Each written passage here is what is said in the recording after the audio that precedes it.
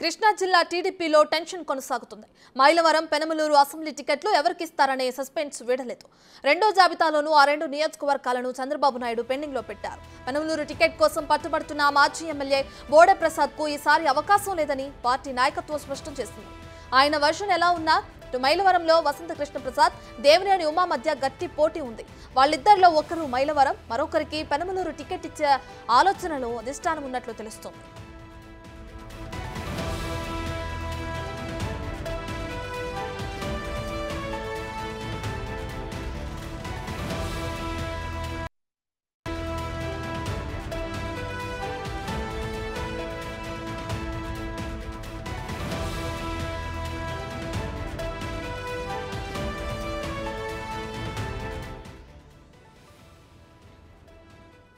Right కిదే అంశానికి సంబంధించి మరింత సమాచారాన్ని మా ప్రతినిధి శివ అందిస్తారు. సో శివ అటు ఏపీలో ఎలక్షన్స్ దగ్గర పడుతున్న కొద్దీ మైలవరం పెనమలూరు అసెంబ్లీ టికెట్లను మాత్రం ఇంకా టీడీపీ అధినేత ఎవరికీ కేటాయించలేదు. పెనమలూరు మాత్రం బోడే ప్రసాద్ నాకే కావాలని పట్టుబట్టారు. మైలవరంలో చూసుకుంటే వసంత కృష్ణ ప్రసాద్ దేవినేని మధ్య గట్టి పోటీ ఉంది.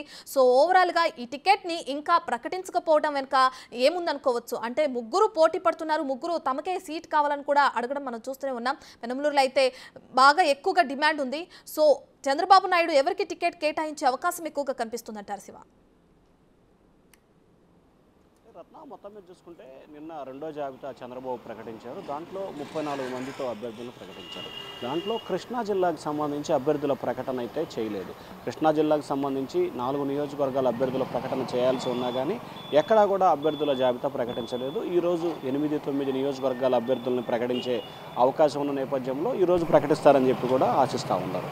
ఇక మైలవరం నియోజకవర్గానికి సంబంధించి ఇటీవల నిర్వహించిన పలు సర్వేల్లో కూడా వసంత కృష్ణప్రసాద్కి అనుకూలంగానే సర్వే నివేదికలు ఉన్నాయి వసంత కృష్ణ ప్రసాద్కి టికెట్ ఇవ్వాలని చెప్పి చంద్రబాబు దాదాపుగా నిర్ణయం తీసుకున్నారు. దేవినేని ఉమాకి సంబంధించి ఇప్పటికే పిలిచి రెండుసార్లు కూడా చెప్పడం జరిగింది. ఆయన కూడా బుజ్జగించారు. సో దేవినేని ఉమాకి సంబంధించి కూడా చంద్రబాబు నిర్ణయమే తా తన నిర్ణయాన్ని కట్టుబడి ఉంటాను. చంద్రబాబు ఏ ఆదేశాలు జారీ చేసినా తాను కట్టుబడి ఉంటానని చెప్పి ఉమా అయితే స్పష్టమైన ప్రకటన కూడా చేశారు. ఇక మైలవరానికి సంబంధించి దాదాపుగా వసంత కృష్ణ ప్రసాద్ వైపే చంద్రబాబు మొగ్గు చూపినట్టు తెలుస్తూ ఉంది. దానికి ఎవరైతే ఉన్నారో మాజీ మంత్రి దేవినేని ఉమా కూడా అంగీకారం తెలిపారు.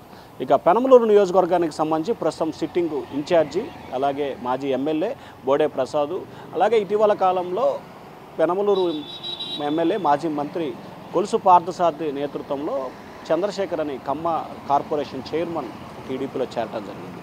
ఆయనతో పాటుగా విజయవాడకి సంబంధించిన ఎండి బేగ్ ఈయన పేరు కూడా పెనమలూరు నియోజకవర్గం నుంచి పరిశీలనలో ఉంది. తాజాగా దేవుని ఉమా పేరు కూడా తెర మీద జరిగింది. ఇక పెనమలూరు నియోజకవర్గానికి సంబంధించి దేవినేని ఉమా బేగు బోడే ప్రసాద్ చంద్రశేఖర్ నలుగురు ఇక్కడ ఈ నియోజకవర్గానికి సంబంధించి ఆశావాహులు పోటీ పడతా ఉన్నారు.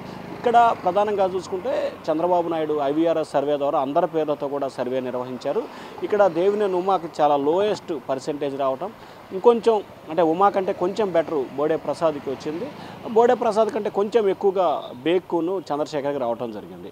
ఇక ప్రధానంగా నియోజకవర్గ సమీకరణాలు కుల సమీకరణాలు నేపథ్యం విషయంలో కూడా పెనమలూరు నియోజకవర్గానికి సంబంధించి ప్రధానంగా రెండు అంశాలని చంద్రబాబు కొలమానంగా తీసుకుంటున్నారు. అక్కడ ముస్లిము చౌదరి కాపు ఓట్లు చాలా ఎక్కువగా ఉన్న పరిస్థితి కనిపిస్తూ ఉంది.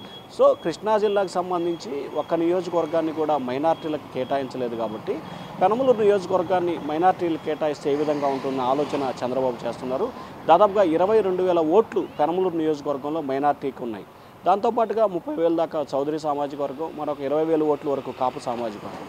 టీడీపీ జనసేన బీజేపీ పొత్తులో భాగంగా చౌదరి కాపు ఓట్లు ఆల్టర్నేట్గా టీడీపీకి మళ్ళీ అవకాశం కనిపిస్తూ ఉంది మైనార్టీ ఓట్లను డైవర్ట్ చేసుకోవాలంటే ఖచ్చితంగా మైనార్టీ అభ్యర్థిని ఇస్తే ఏ విధంగా ఉంటుందనే ఆలోచన చంద్రబాబు చేస్తూ ఉన్నారు. దానికి సంబంధించి కూడా సర్వేలు కూడా ఇప్పటికే కొనసాగుతున్నాయి. ఇప్పటికే ఆరు రకాల సర్వేలు అక్కడ నిర్వహించారు. సో చంద్రబాబు ఇవాళ కానీ పద్దెనిమిదో తారీఖు కానీ ఇస్తున్న చివరి జాబితాలో పెనమూరుకు సంబంధించి చంద్రశేఖర్ కానీ బేగ్ వైపు కానీ చ- చంద్రబాబు మొగ్గు చూపే అవకాశం కనిపిస్తూ ఉంది. మైలవరానికి సంబంధించి వసంత కృష్ణప్రసాద్ పెనమూరుకు సంబంధించి చంద్రశేఖర్ ఆర్ బేగ్. ఇంతట్లో ఒక పేరుని కన్ఫర్మ్ చేసే అవకాశాలు అయితే కనిపిస్తూ ఉన్నాయి రత్న.